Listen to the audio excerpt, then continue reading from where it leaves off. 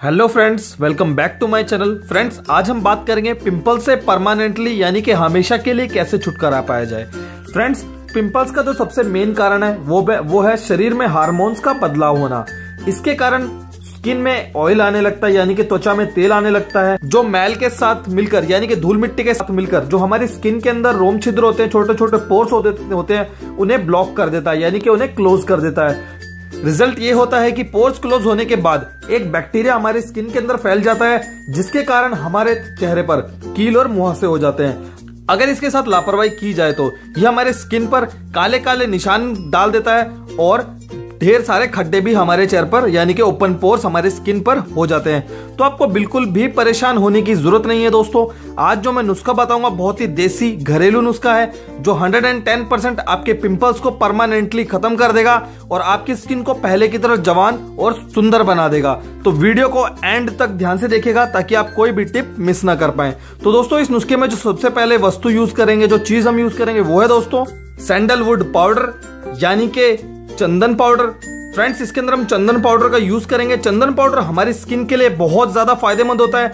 यह हमारी स्किन को क्लियर रखता है। हमारे स्किन से ऑयल खत्म करता है, जिसकी वजह से हमें पिंपल्स आते हैं। जो ब्लैक हेड्स होते हैं व्हाइट हेड्स होते हैं, उनको खत्म करता है। साथ ही साथ हमारे पिंपल्स को खत्म करके स्किन को क्लियर और सुंदर बनाता है। और ये चंदन पाउडर दोस्तों, आपको किसी भी मेडिकल स्टोर और कॉस्मेटिक स्टोर पर इजीली आपको 10 से 20 रुपए में आसानी से मिल जाता है। तो इसके अंदर हम लेंगे दोस्तों एक चम्मच चंदन पाउडर का। ये देखिए दोस्तों, एक चम्मच चंदन पाउडर हमने इसके अंदर ले लिया है।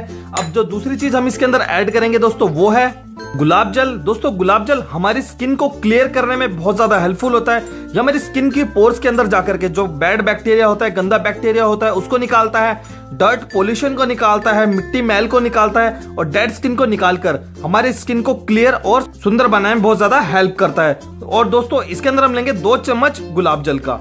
ये देखिए, इस तरीके से दो चम्मच गुलाब जल हम इसके अंदर ऐड कर लेते हैं।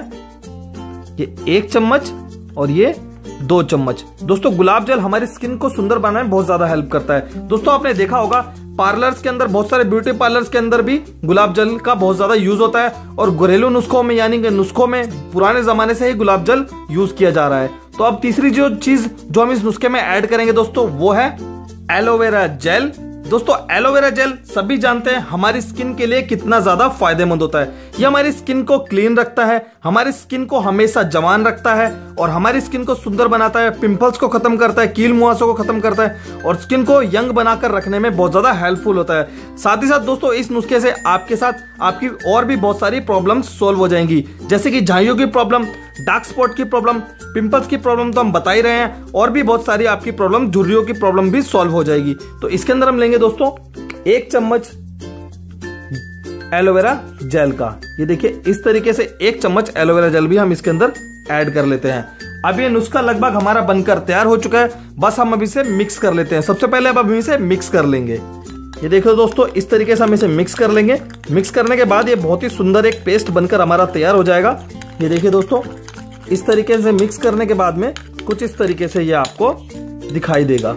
ये देखिए दोस्तों, ये लगभग हमारा बनकर तैयार हो चुका है। हमारे फेस के लायक ये बन चुका है। अब मैं आपको बताता हूँ इसको इस्तेमाल करने का तरीका, आपको इसका इस्तेमाल अपने चेहरे पर किस तरीके से करना है। तो दोस्तों, आपको क्या करना होगा? सबसे पहले तो आपको अपने फेस को गुनगुने पानी से धो लेना है। दोस्तों, ताकि आपके चेहरे पर किसी भी तरह की धूल मिट्टी ना हो ऑयल ना हो, जिससे कि जब हम ये पेस्ट आपके चेहरे पर अप्लाई करें तो आपके स्किन के अंदर वो वापस से ना चला जाए। तो सबसे पहले तो आपको गुनगुने पानी से अपने चेहरे को धो लेना है। उसके बाद अपने हाथों को धो करके अच्छे से आपको यूज़ करना है नुस्खा। तो आपको करना क्या होगा? अपने साफ़ सुथरे हाथों से इसमें दो से तीन उंगलियों से लेना है आपको। या फिर आप कॉटन की हेल्प भी ले सकते हैं, कोई दिक्कत नहीं होगी। और इस तरीके से लेने के बाद में अपने चेहरे पर, जहाँ पर भी आपको पिंपल्स हैं, उस तरीके से एक लेयर की तरह इसको आपको नुस्खे को लगा लेना है। ये देखिए दोस्तों, जिस तरीके से मैं आपको लगा के बता रहा हूँ इस तरीके से आपको अपने पूरे फेस पर इसको अच्छे से लगा लेना है। ये देखिए, इस तरीके से। जब पूरे फेस पर, जहाँ आपको पिंपल्स नहीं है, वहाँ पर भी आप इसे अप्लाई कर सकते हैं, क्योंकि ये आपके स्किन के लिए बहुत ज़्यादा फ़ायदेमंद है और इसके कोई भी साइड इफ़ेक्ट नहीं है, क्योंकि ये नुस्खा बिल्कुल नेचुरल है। तो इस तरीके से लगा देने के बाद में आपको इसको पाँच से दस मिनट के लिए सूखने के लिए छोड़ देना है। दोस्तों, जब तक ये सूख नहीं जाता, इसको अपने चेहरे पर आप लगे रहने दें। इसको ज़बरदस्ती सुखाने की कोशिश ना करें। हवा में बैठकर, धूप में बैठकर या पंखे की हवा से। ये नेचुरली जब तक सूखे, इसको सूखने देना है। उसके बाद में आपको गुनगुने पानी से ही अपने चेहरे को धो लेना है। 10 मिनट से 15 मिनट इसको जब तक ये सूख ना जाए, इसको रहने देना है। उसके बाद गुनगुने पानी से अपने फेस को धो लेना है।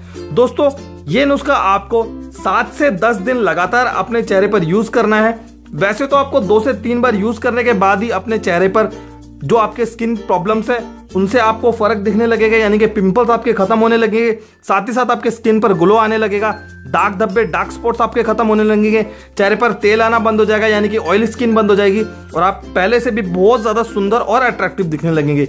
तो इस तरीके से नुस्खा सात से दस दिन आपको अप्लाई करना है 10 से 15 मिनट रखना है और चेहरे को गुनगुने पानी से धो लेना है। तो दोस्तों, हो सके तो चेहरे पर साबुन का यूज़ ना करें, कोई भी हर्बल फेस वॉश अपने फेस पर यूज़ करें, जैसे कि neem face wash aloe vera gel face wash, इस तरह का कोई फेस वॉश मार्केट से लाकर अपने चेहरे पर यूज़ करें, ताकि आपके चेहरे पर किसी भी तरीके का नुकसान ना हो। तो दोस्तों, ये था मेरा आज का नुस्खा। अगर आपको नुस्खा पसंद आया तो वीडियो को लाइक ज़रूर कीजिएगा और दोस्तों, अगर आप चैनल पर नहीं हैं, चैनल को सब्सक्राइब करके उसके बगल में एक बेल आइकन है, उसको ज़रूर प्रेस कीजिएगा ताकि आपको हमारी हर नई वीडियो का नोटिफिकेशन मिल सके। Thank you friends